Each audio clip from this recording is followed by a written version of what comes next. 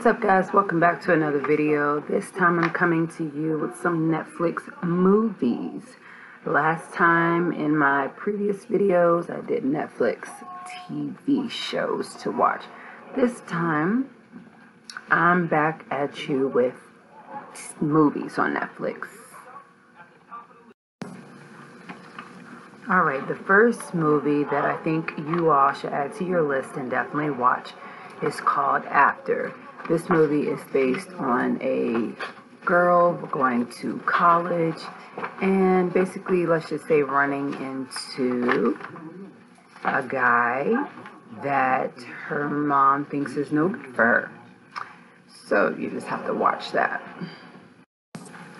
I definitely would give After a 9 out of 10. The only reason I'm giving it a 9 out of 10 is just because um, it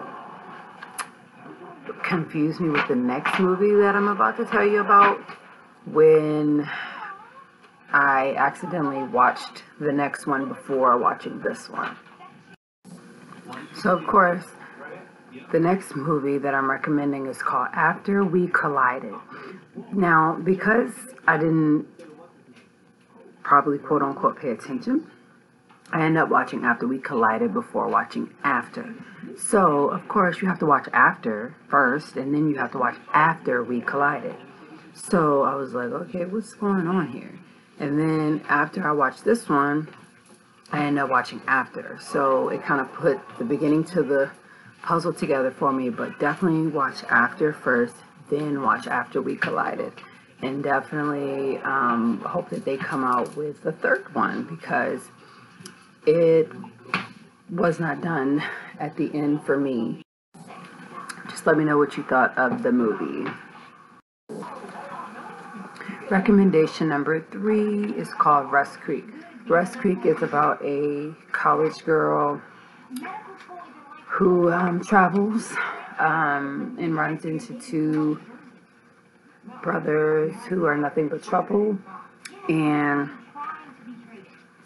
so I think that that's a good movie because um, I wanted to see what the outcome of the situation would be. And um, it turned out better than I thought. Because at first I was like, oh my God. But I definitely would recommend this to you guys. If you've already seen it, let me know what you think. Because I think that um, the first few minutes was kind of like, what?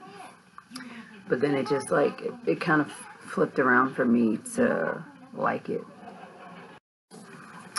The fourth one that I would recommend is called Unfriended.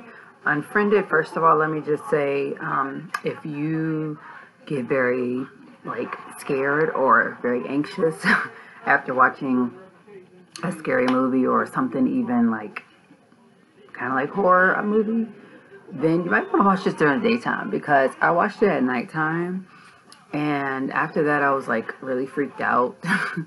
um, so Unfriended is about a group of friends who basically are like on a Zoom call and um, there's just like this one unwanted person who joins their call and can't get rid of them. So I definitely would recommend watching this, but like I said, I definitely would recommend watching it during the daytime. and um, yeah. and of course, the last movie that I would recommend anybody watching is called Project Power, starring Jamie Foxx. That movie, um, it actually was really cool, something different, and um, I really liked the actual story to the movie, and it's just something that I would recommend. Check it out. So, of course, I want you guys to leave me some comments and let me know if you've already watched these.